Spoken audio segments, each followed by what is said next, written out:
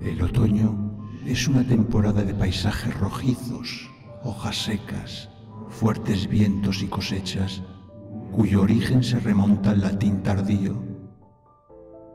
El otoño es una de las cuatro estaciones del año, viene después del verano y antecede al invierno.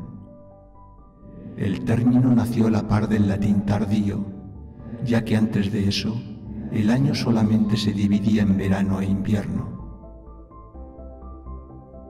Aunque su origen aún resulta incierto, especialistas sitúan la raíz de la palabra en el latín autumnus, que significa que llega a la plenitud del año, por lo que tal vez proviene de observar que la vegetación ya está al final de su ciclo.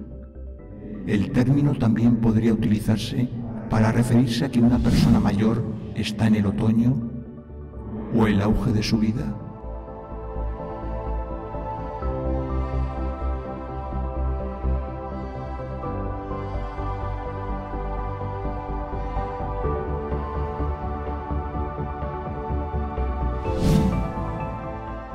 Este periodo del año suele tener una duración de 83 días, aunque actualmente, con los cambios en las condiciones climáticas que azotan el planeta, los tiempos varían, ya que el calentamiento global ha hecho que las características meteorológicas del periodo se adelanten o atrasen durante los meses de septiembre, octubre y noviembre.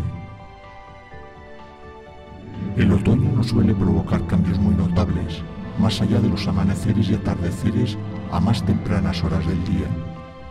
La temporada otoñal provoca el descenso de las temperaturas y el cambio de color en los paisajes, que de verdes se tornan rojizos y amarillentos. Algunos árboles incluso pierden el follaje debido a que de los fuertes vientos tiran las hojas secas que los cubren.